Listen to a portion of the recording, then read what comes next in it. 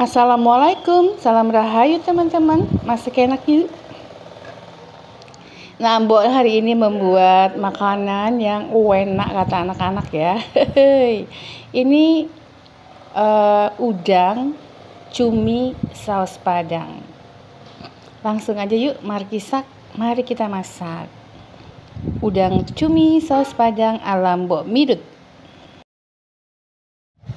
Pertama ini adalah 500 gram udang. 500 gramnya itu dalam kondisi belum dikupas ya. Kita sayat bagian punggungnya lalu kita buang ada itu ya semacam saluran pembuangan.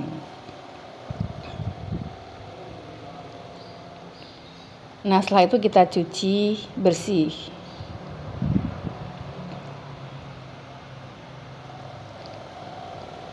Kemudian 500 gram cumi-cumi campur dengan sedikit soda kue atau baking soda dan garam ini agar melembutkan dan membersihkan. Diamkan kurang lebih selama 10 menit, setelah itu dibilas bersih selama tiga kali ya, biar bersih banget. Lanjut bumbunya cukup diiris-iris aja ya setengah buah bawang bombay kalau ada satu buah boleh banget biar lebih sedap. Kemudian itu ada satu ibu jari jahe 7 siung bawang putih 7 siung bawang merah sudah diiris dan juga 9 buah cabai rawit merah. Campur 5 sendok makan saus sambal 5 sendok makan saus tomat 1 sendok makan kecap asin 5 sendok makan saus tiram 1 sendok makan wijen, minyak wijen maksudnya.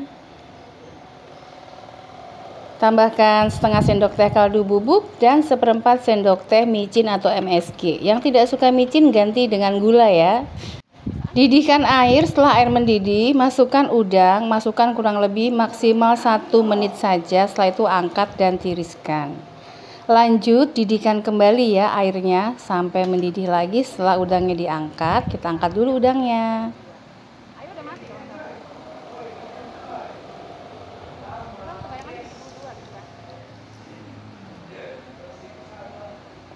Setelah airnya mendidih lagi, masukkan cumi-cuminya maksimal 1 menit saja, langsung diangkat dan ditiriskan.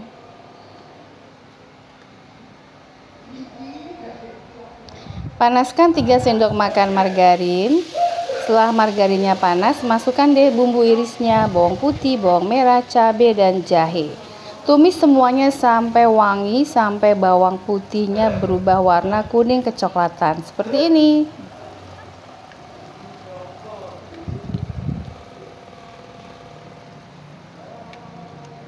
Setelah itu masukkan bumbu-bumbu sausannya tadi ya. Diaduk-aduk-aduk-aduk biar aromanya wangi. Setelah itu masukkan 300 ml air dan satu buah jagung manis yang sudah dipotong-potong. Biarkan mendidih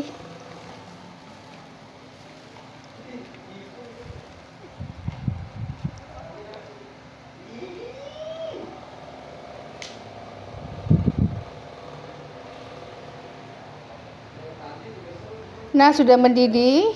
Sayang ya, saus sambalnya kita bersihkan dulu ya wadahnya.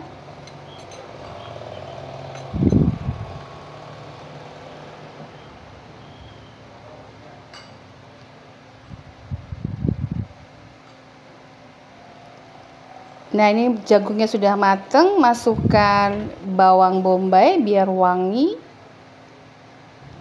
Satu batang daun bawang iris, Jangan lupa tes rasa terlebih dahulu. Udah oke. Okay. Masukkan campuran 1 sendok makan tepung maizena dan 200 ml air. Biarkan mendidih.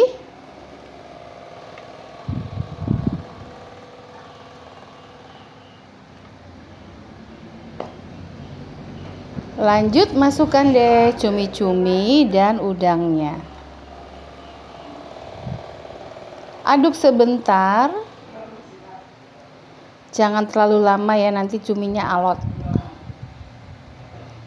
Nah ini buat tambahin terong ya. Nanti kan anak-anak nyerang seafoodnya emaknya makan terong. Udah gini aja. Mateng angkat. Siap disajikan. Tuh jadinya banyak banget dan enak kayak jajan di resto yang mahal kata dia. Kata dia. Teman-teman demikian resep kali ini. Selamat masak enak untuk keluarga. Salam kuliner nusantara endes surendes maknyos nah ini mari kita santap. Cumi udang saus padang Mak News. Selamat mencoba.